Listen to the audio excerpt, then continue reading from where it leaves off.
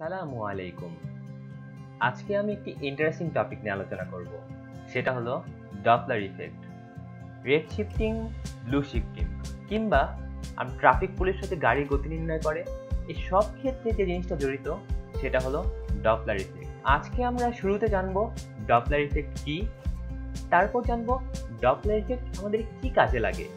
সবশেষে এ সম্পর্কিত কিছু সূত্র দেখে নেব। তো শুরু করা যাক ডপলার ইফেক্ট ডপলার ইফেক্ট মূলত কাজ করে তরঙ্গের ক্ষেত্রে। একটি তরঙ্গের শ্রোতা কিংবা দর্শক এবং এর সাথে উৎসের যদি একটি আপেক্ষিক গতি তৈরি হয়, সেক্ষেত্রে কম্পাঙ্কের আপাত দৃষ্টিতে পরিবর্তন দেখা দেয়। তো দর্শক বা শ্রোতা এবং উৎসের যদি আপেক্ষিক গতি তৈরি হয়, তাহলে যে কম্পাঙ্কের পরিবর্তন হয়, এই কম্পাঙ্কের পরিবর্তনকেই কিন্তু বলা হয় ডপলার ইফেক্ট ক্রিশ্চিয়ান ডপলার আঠারোশো বিরাশি সালে সর্বপ্রথম এই জিনিসটি ব্যাখ্যা করেন। তো একটু উদাহরণে আসা যাক। একটি স্থির উৎস। স্থির উৎসের ক্ষেত্রে তরঙ্গ কিন্তু সব দিকে সমানভাবে ব্যাপিত হয়। তো যার ফলে চারপাশে সব জায়গায় আমাদের কম্পাঙ্কটা একই রকম থাকে। কিন্তু এই উৎস যখন কোনো একদিকে গতিশীল হওয়া শুরু করে, সেক্ষেত্রে যেই দিকে গতিশীল হয়, সেই দিকে আমাদের কম্পাঙ্কটা বেশি হয়ে পড়ে। আর বিপরীত পাশে কম্পাঙ্ক কম হয়ে পড়ে। তো এই যে কম্পাঙ্কের পরিবর্তন হলো, এই কম্পাঙ্কের পরিবর্তনকেই কিন্তু বলা হয় ডপলার ইফেক্ট। তো এখন আমরা দেখে আসি ডপলার ইফেক্ট আমাদের কি কাজে লাগে। আমরা আগেই দেখেছি আপেক্ষিক বেগের ফলে কিন্তু আমাদের কম্পাঙ্কের পরিবর্তন হয়। এই কম্পাঙ্কের পরিবর্তন কিন্তু তরঙ্গ ভেদে ভিন্ন ভিন্ন হতে পারে। শব্দের ক্ষেত্রে কম্পাঙ্ক পরিবর্তন হলে এক ধরনের প্রভাব হয়, আলোর ক্ষেত্রে কম্পাঙ্ক পরিবর্তন হলে প্রভাব কিন্তু আর রকম হয়। শব্দের ক্ষেত্রে কম্পাঙ্ক পরিবর্তনে আমাদের শব্দের পিচ পরিবর্তন হয়। আর আলোর ক্ষেত্রে এই কম্পাঙ্ক পরিবর্তন হলে আলোর তরঙ্গ দৈর্ঘ্য পরিবর্তিত হয়। তো এই পিচ পরিবর্তনকে কাজে লাগিয়ে কিন্তু ট্রাফিক পুলিশরা গাড়ির গতি নির্ণয় করতে পারে। দূর থেকে একটা গাড়ি আসলে সে গাড়িতে কিন্তু সে এই পিচের পরিবর্তন দেখে বুঝতে পারে গাড়িটা কত গতিতে আসতেছিল। এই সেম মেকানিজম কিন্তু আমরা সোনারের ক্ষেত্রেও ইউজ করতে পারি। তারপর দেখি আমরা তরঙ্গ দৈর্ঘ্য কীভাবে কাজে লাগে? ডপলার ইফেক্টের ক্ষেত্রে এই জিনিসটার কিন্তু ব্যবহার ব্যাপক। জ্যোতির্বিদ্যার বলতে গেলে সব ক্ষেত্রেই এই ডপলার ইফেক্ট আমাদের কাজে লাগে।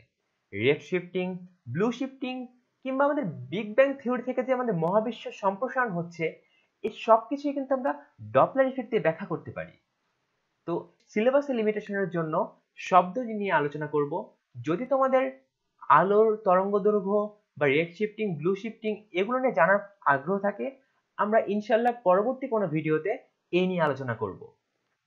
এখন দেখে নেওয়া যাক ডপলার ইফেক্ট সম্পর্কে কতগুলো সূত্র দেখে নেই। তো সূত্রগুলো দেখার আগে আমরা সূত্র মনে রাখার কিছু টেকনিক শিখব।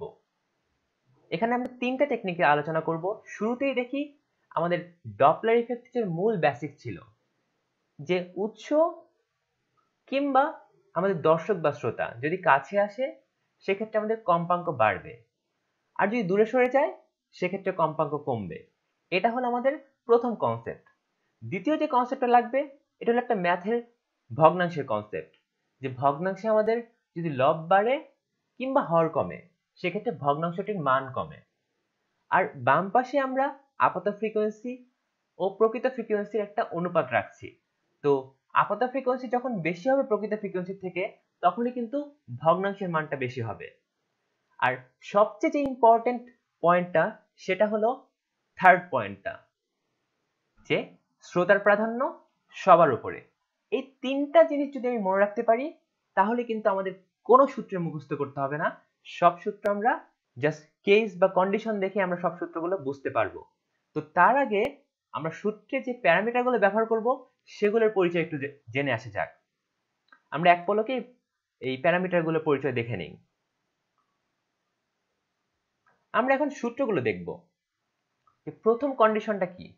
যে স্থির উৎসের দিকে গতিশীল শ্রোতা।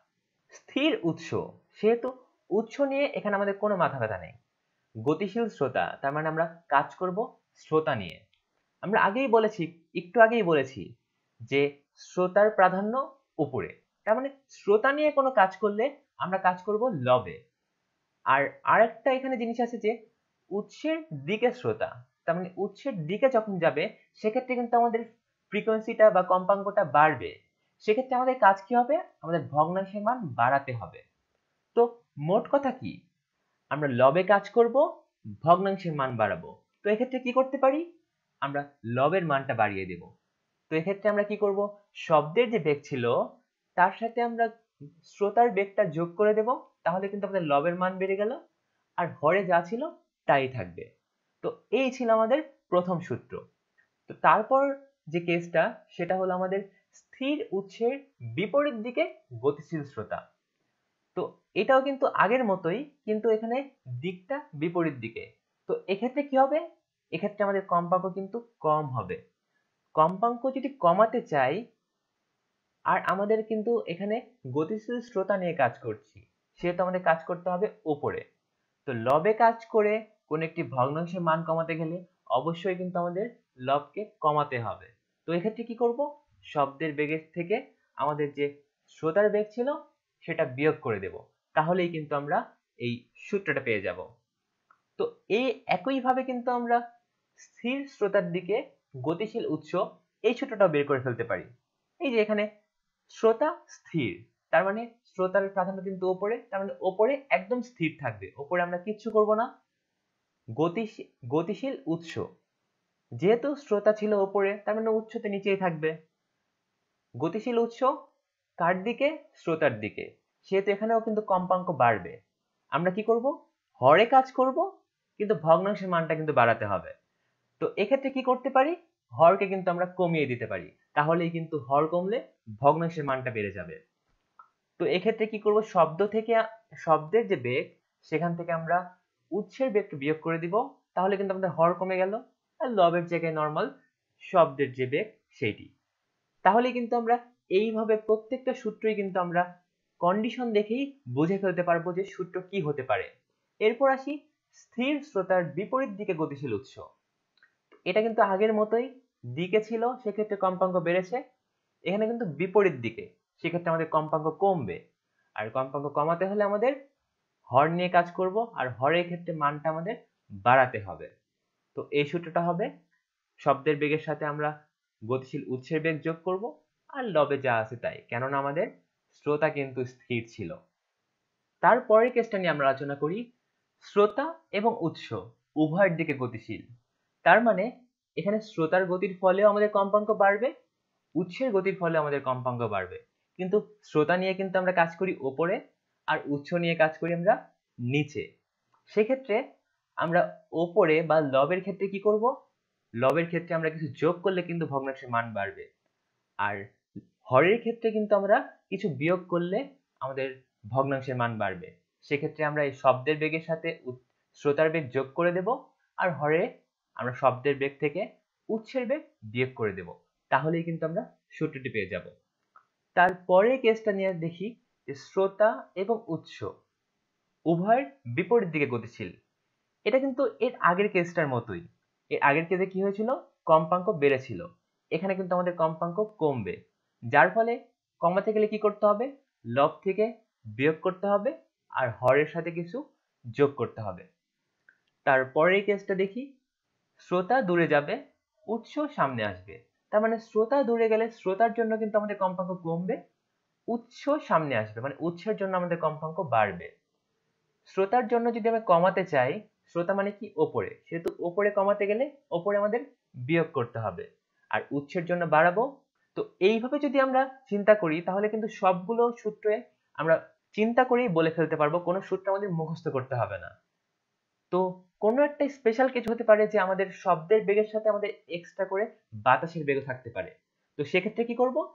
শব্দের বেগের সাথে বাতাসের বেগ যোগ করে দেব। তাহলেই কিন্তু কাজ শেষ। তো এত এত সূত্র আমাদের কিন্তু কোনোটাই মুখস্থ করতে হচ্ছে না। আমরা শুধু কন্ডিশন নিয়ে চিন্তা করব। তাহলে কিন্তু আমরা এগুলো সব সূত্র আমরা নিজেরাই কিন্তু বের করে ফেলতে পারব। তো এর জন্য আমাদের তিনটা পয়েন্ট মাথায় রাখতে হবে। এক আমাদের যে একদম বেসিক কনসেপ্ট ডপলার ইফেক্টের দুই নাম্বার ম্যাথের একটা বেসিক কনসেপ্ট ভগ্নাংশের। আর সবশেষে, এটা কিন্তু সবচেয়ে ইম্পর্টেন্ট যে শ্রোতা মানে তোমাদের প্রাধান্যই সবার উপরে। ধন্যবাদ সবাইকে দেখার জন্য। আমি তোমাদের সাথে ছিলাম তোমাদের physics instructor Minhajul Abedin. Thanks for the concentration and sharing your time with me Allah Hafiz.